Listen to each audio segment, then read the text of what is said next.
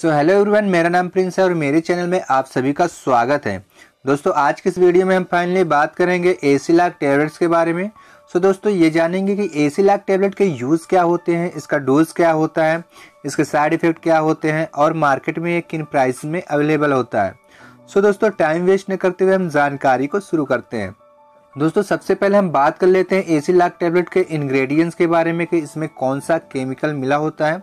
बात की जाए दोस्तों एसी लाख टैबलेट के इंग्रेडिएंट्स के बारे में तो इसमें रेंटीडीन मिला होता है। और दोस्तों मार्केट में जो रेंटीडीन है, यह 150 एम या फिर 300 एम में मिल जाता है। बात की जाए दोस्तों, इसके यूज़ के बारे में तो इसका सबसे ज़्यादा यूज़ वो है गैसवस प्रॉब्लम के लिए किया जाता है। जैसे कि आपको गैसवस प्रॉब्लम होती है, आपको एब्डोमेन में एसिडिटी बनती है तो ऐसे सिचुएशन में इसका सबसे ज़्यादा यूज़ होता है। और दोस्तों, इसके जो यूसेज होते हैं, जैसे कि आपको स्टामक अल्सर हो जाते हैं और दोस्तों, इसके साथ साथ यदि आपको स्मॉल इंटेस्टाइन में किसी प्रकार का इन्फेक्शन है, या फिर आपको कॉलन में, यानी मोटी आंत में कोई इन्फेक्शन है तो तो ऐसी कंडीशन में भी आप एसीलाक या फिर रेंटीडीन टैबलेट का यूज़ कर सकते हैं। तो दोस्तों, अब हम बात करते हैं इसका डोसेज के बारे में, कि इसका डोज जो है पेशेंट को किस प्रकार से दिया जाता है। दोस्तों, इसके डोज की बात की जाए तो अडल्ट में इसका डोज जो है, वो 150 mg या फिर आप इसको जो है 300 mg सुबह शाम दे सकते हैं। बच्चों की बात की जाए तो बच्चों में हमेशा उनके बॉडी वेट को नापने के बाद ही इसका डोसेज दिया जाता है। और दोस्तों बताना चाहूँगा कि ऐसी मेडिसिन का यूज़ जो है सिर्फ़ और सिर्फ़ अपने डॉक्टर के प्रिस्क्रिप्शन के अनुसार ही लिया जाता है।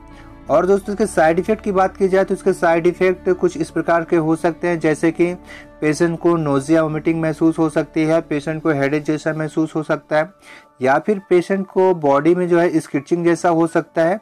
ये जो है इसके नॉर्मल साइड इफ़ेक्ट होते हैं। सो so गैस अब हम बात करते हैं कुछ लोगों के डाउट्स और सवाल के बारे में, क्योंकि बहुत सारे लोगों के अलग अलग क्वेश्चंस होते हैं।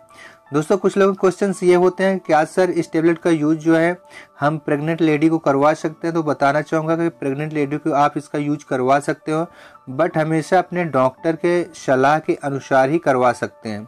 और दोस्तों, कुछ लोगों के सवाल ये भी होते हैं कि सर क्या इसका यूज़ जो है, स्तनपान करवाने वाली महिला जो है यूज़ में ले सकती हैं? तो बेसिकली स्तनपान करने वाली महिलाएँ इसको यूज़ में ले सकती हैं। और दोस्तों, कुछ लोग क्वेश्चन ये भी होते हैं कि क्या सर, यदि जैसे कि मैं ड्राइवर हूँ और जो है बाइक वगैरह या फिर जो है फोर व्हीलर वगैरह चलाता हूँ तो क्या ऐसी कंडीशन में इसका यूज़ कर सकता हूँ?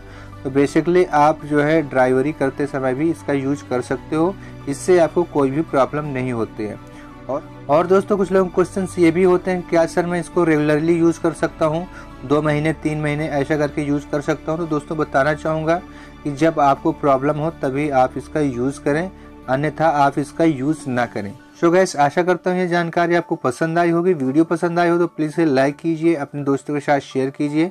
यदि आपके मन में कोई कन्फ्यूज़न है, कोई सवाल है तो बेसिकली आप हमें कमेंट बॉक्स में कमेंट करके अपने सवाल पूछ सकते हैं। तो फिर मिलता हूँ मैं अपने नेक्स्ट वीडियो में, तब तक के लिए धन्यवाद।